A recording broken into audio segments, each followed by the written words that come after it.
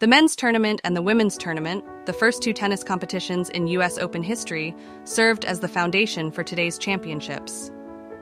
The inaugural men's tournament match in the history of the U.S. Open tennis took place at the Newport Casino in the year 1881, specifically in August of the same year.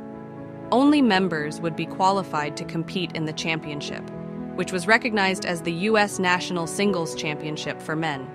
The U.S. Women's National Singles Championship was first held at the Philadelphia Cricket Club in 1887. The U.S. Women's National Doubles Championship and the U.S. Mixed Doubles Championship were held in 1889, two years later. The first U.S. Open Championships got underway in 1968, and for the first time in history and at the previous competitions, professionals were allowed to play. The U.S. Open Championships were previously held on grass before switching to clay in 1975. The U.S. Open started using hard courts in 1978, and it continues to do so now. This was another surface modification. Richard Dick Sears formed the United States National Lawn Tennis Association, USNLTA, in 1881, the same year that the first U.S. Championships were held and that year saw the introduction of the National Championship. The National Championship, which preceded the U.S. Open, was solely open to citizens of the United States. The National Championship was held in the Newport Casino in Rhode Island, and the first champion was Dick Sears, better in the finals of William Glyn with 6 0, 6 3, 6 2. Ellen Hansell introduced women in 1887 Philadelphia Cricket Club hosted the debut of the U.S. Women's National Singles Championship. Ellen Ford Hansell Allerdice was the first woman to win the title. She defeated Laura Knight in the finals 6 1 6 0. Dick Sears earned his seventh and final championship at the U.S. National Championships in a row. 1888, Bertha Townsend, mixed doubles introduced. Bertha Townsend defeated Ellen Hansell in the finals with a score of 6 3 6 5 to win her first championship. Her first of two victories at the National Women's Championship was that one. The inaugural U.S. National Mixed Double Champions were M. Wright and J.S. Clark. Women's doubles were first played in 1889, and the first U.S. National Women's Doubles Champions were Margarette Ballard and Bertha Townsend.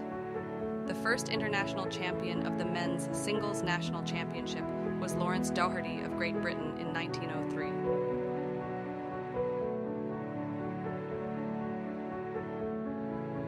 Nineteen eleven William Larned.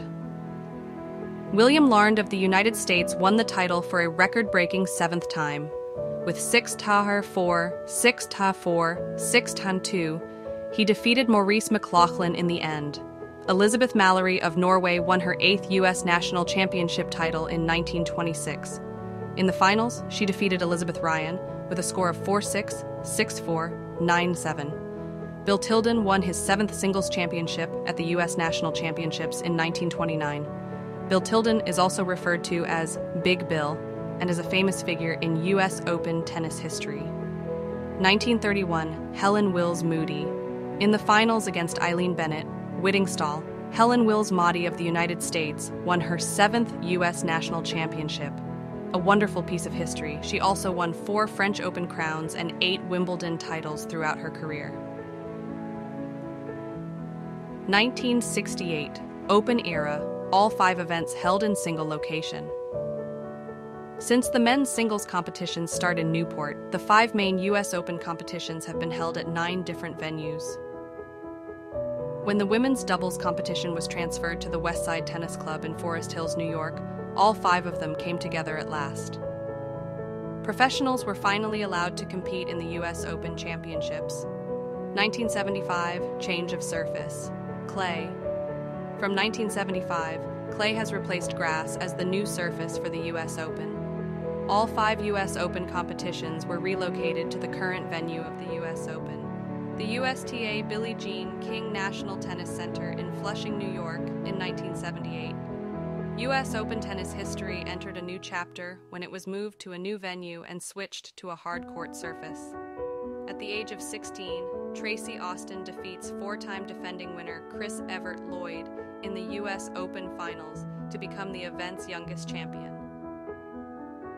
1982, Chris Evert. Chris Evert won the women's singles title for a record sixth time by defeating Hana Mandlikova 6 3, 6 1 in the championship match. Jimmy Connors defeated Ivan Lendl in the 1983 U.S. Open Tennis Championship Finals with a score of 6 3, 6 7, 7 5, 6 0. This was Connors' eighth and final Grand Slam victory. 1990 Pete Sampras. At the age of just 19 and 28 days, he wins the U.S. Open men's singles title, defeating Andre Agassi 6 4, 6 3, 6 2. Andre Agassi won the U.S. Open men's singles championship in 1994, becoming the first unseeded player to do so during the U.S. Open era.